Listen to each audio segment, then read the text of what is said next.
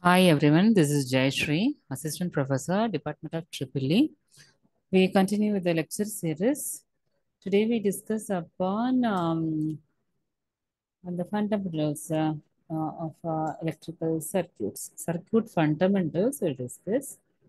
Then um, what is branch, what is node, uh, uh, then uh, what are the different types of circuits we'll discuss. Okay. So before starting that, so what is load? Load na? What do you mean by load? So here, if you look at uh, all the consumers, that is, uh, we are consumers, we are consuming electricity. So in our home, a lot of electrical appliances are consuming electricity. It works on electricity. Those appliances, we call it as load, right? So for example, fan, light, refrigerator, TV, television, all are uh, working under electricity. So these are conser uh, we call it as load. Okay.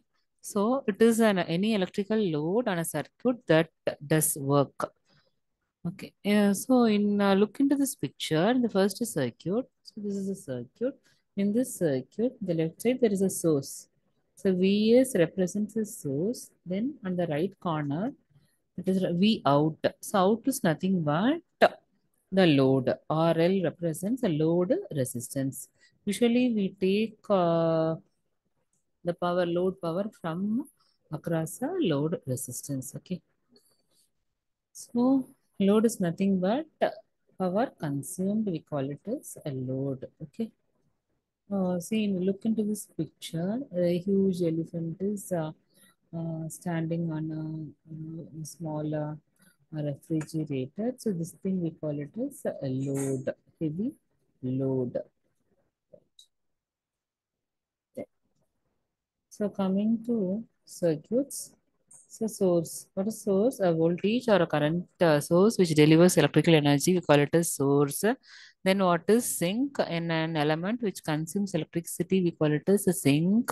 Then what is a circuit? It consists of both the source and sink connected with some wires forming a closed loop. So loop is nothing but a closed circuit. We call it as a loop or mm, uh, mesh, right? Closed circuit, we call it as a loop, right? So what is a node junction point uh, of uh, two to three elements in a circuit? We call it as a node. So circuit element uh, between two nodes, we call it as a branch. Closed path, we call it as a loop. Okay. So look into this picture. Is it working? Uh, would this work? See, there is a battery, then there is a lamp, there is a wire connecting between the battery, one terminal and lamp, on terminal of a lamp. Def definitely this won't work. So look into this picture. So here one terminal of a lamp is connected to one side of the battery, then second terminal of the battery is connected to the lamp. So this work because it is a closed circuit, the current flows between battery and the lamp. So it works. Right. Then we discuss upon um, two types of circuits. One is a series circuit, second one is parallel circuit. Look into this first picture. So there are three lamps connected in series. So here, this type of circuit, we call it as a series circuit. Uh, one disadvantage is if one lamp goes out, if one lamp is get disconnected from the circuit means the entire circuit gets broken other two lamps also gets off, come to off condition. So there is a main drawback of um, series circuit. So in parallel circuit, look into the second picture. This is a parallel circuit. Here all the lamps are connected on either side of the battery, right? Main in this type of circuit, we call it as a parallel circuit. Uh, the main advantage is if one light goes off, then the remaining two lights are still in working condition, it uh, glows and gives light. So there is a main uh, advantage of this parallel connection, right? So there are two types of circuit. I already told one is series circuit. Example is uh, there is serial light, Christian lamps, serial light are uh, in series circuit, in parallel circuit, in mostly used in electrical vehicles, right? So how to calculate resistors if it is connected in series?